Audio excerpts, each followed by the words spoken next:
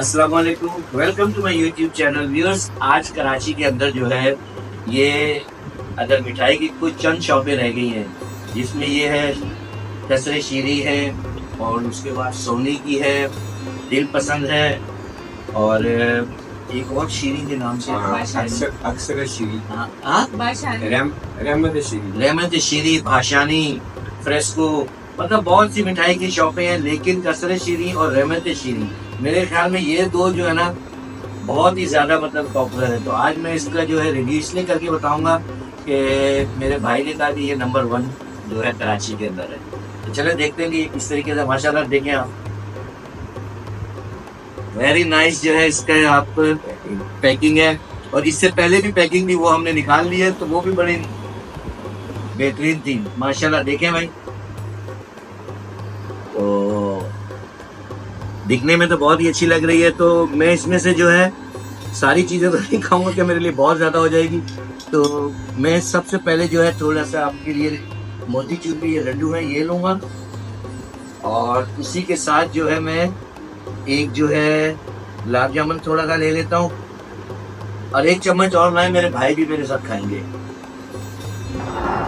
और इसी के साथ जो है हमको एक चीज़ और ले लेते हैं। ये देखते हैं माशाल्लाह से। ये देख सकते हैं कलाकंद मुझे लग रहा है। और बाकी भी मिठाई इनकी सारी की सारी अच्छी है।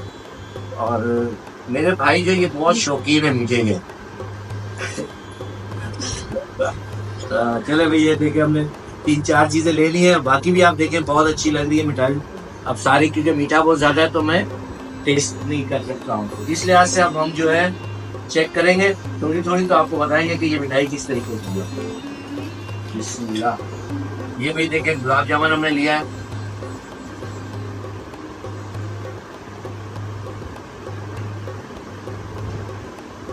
बहुत अच्छा टेस्ट है गुलाब जामुन का।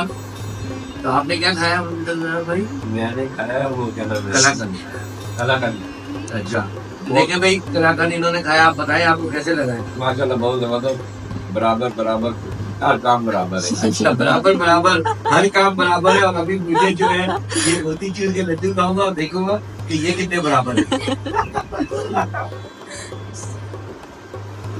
मैं चला मोती चूर के लड्डू भी बहुत मज़े के और टेस्ट भी बहुत अच्छा है। और सबसे बड़ी क्या बात है कि मिठाई जो है फ्रेश है। मोती चूर के लड्डू भी फ्रेश लग रहे हैं मुझे। और ये जो है अब मैं कलाकंद खाकर ट्राई करूँगा कि किस तरीके से है। देखें कितना अच्छा कलर है इसका। सही पका हुआ है कच्चा नहीं है ब्राउन हुआ हुआ है। रियली नाइस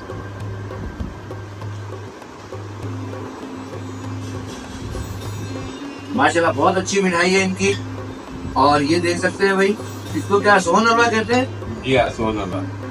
जी हबशी हलवा इसको बोलते हैं सोन हलवा भी बोलते हैं क्योंकि इसका रंग भी जो है हबशी कलर का है तो इस वजह से इसको हबशी हलवा भी कहते हैं। लेकिन वैसे इसका ओरिजिनल नाम जो है, सोन है। आप उसको हबशी भी कह सकते हैं। वेरी नाइस देख सकते हैं इनको। मिठाई माशाल्लाह बहुत अच्छी है इनकी। जिस तरीके से इनका मैंने नाम सुना था कसर शीरी तो ये वैसे ही है। अगर मेरे जो भी व्यूअर्स पाकिस्तान में और वो कराची आए तो ज़रूर ये मिठाई खाएँ और बताएँगे उनको किस तरीके से लगी मुझे तो बहुत अच्छी लगी है। रजनार भाई को भी बहुत अच्छी लगी है। और हमने आज ये आपको रिव्यू करके दिया है। तो इंशाल्लाह आपको भी हमारा ये रिव्यू अच्छा लगा होगा। अगर आपको मेरा ये रिव्यू अच्छा लगे तो प्लीज़ मेरे चैनल को लाइक करें सब्सक्राइब करें, जितना हो सकता है आप उसको शेयर करें।